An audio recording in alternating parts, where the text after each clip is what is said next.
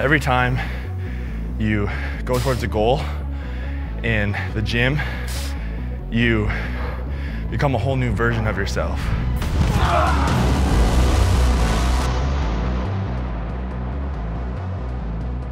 As you build those pounds or lose those pounds or put those plates in the barbell, you're literally becoming a new version of yourself. That's what we want.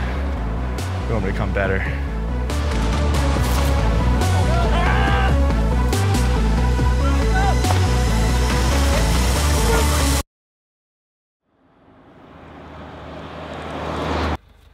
That's when it comes to weight gain.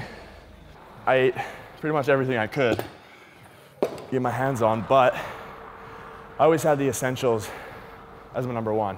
All my nutrients, my micronutrients, my phytonutrients, my zoo nutrients.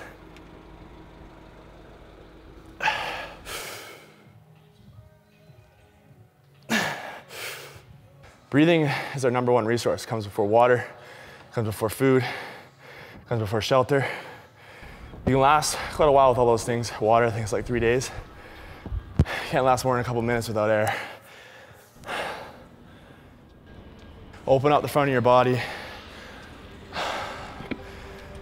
Breathe all the way up the front of your body into your balls, as Elliott would say.